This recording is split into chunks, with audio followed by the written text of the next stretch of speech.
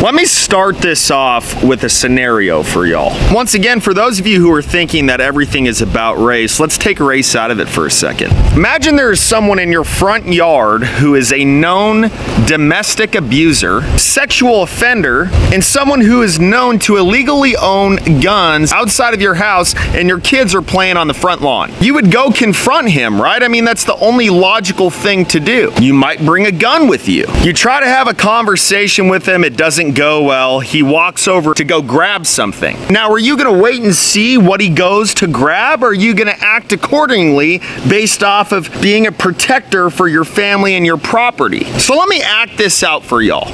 Just so you get a better idea, because you know, I've tried to talk logic to y'all before, but that doesn't seem to work. We choose science over fiction.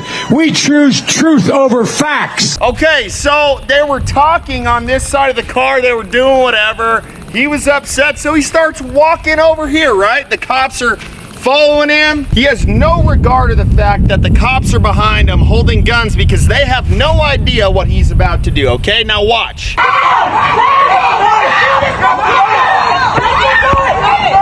So we are right where he was about to enter his car. The cops are about two feet behind him, holding guns to him because they have no idea what he's about to grab. Now, let me give you an example of this. Let's say somebody is holding me up. They're saying, I want your wallet. I tell them, well, it's in my truck. I know that I have a gun right on the inside of the door on my truck.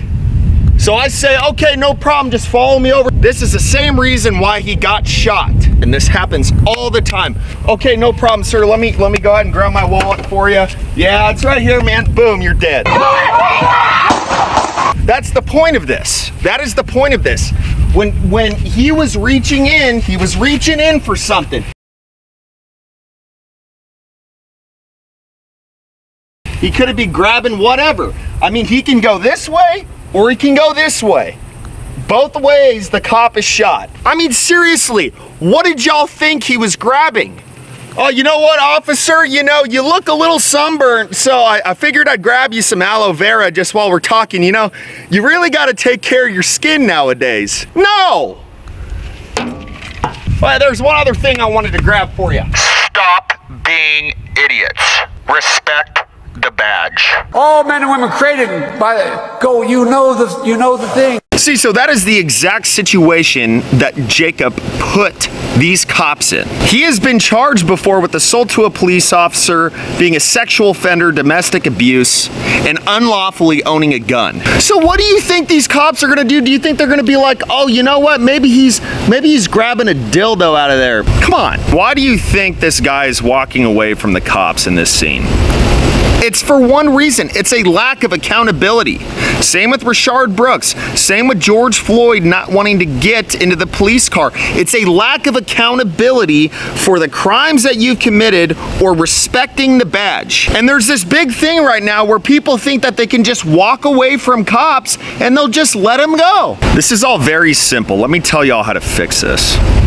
And I'm no expert, but I've got a little bit of common sense. If a cop is talking to you, obey his commands. This is what people don't get. You are going to be accountable either way.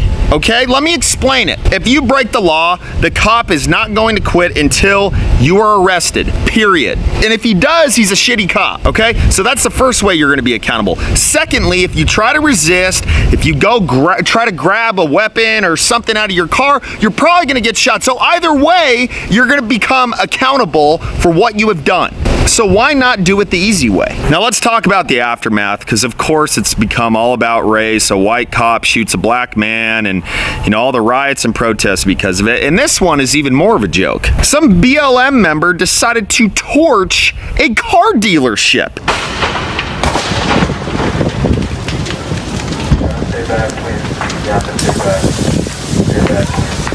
Do you know that that's someone's business? Do you know how long it takes to create a successful business?